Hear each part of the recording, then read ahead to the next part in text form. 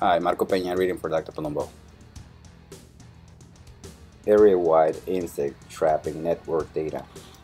Corn earworm.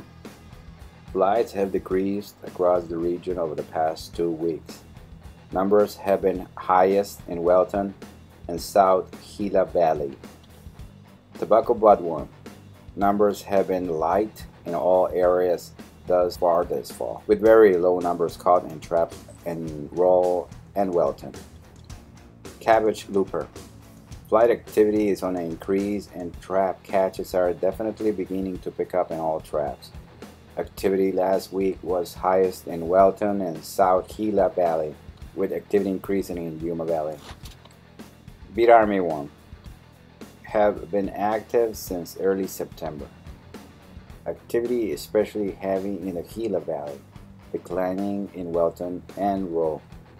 Trap catches have been light in the Dome and Yuma Valley thus far. Whitefly.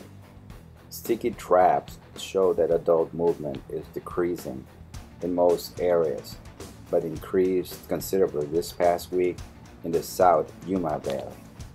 Thrips numbers remain low in all trap locations. Results from the pheromone and sticky traps catches from September 7 through 29 can be viewed at the University of Arizona Cooperative Extension website, Yuma Vegetable Integrated Pest Management Program. Remember, when in doubt, scout.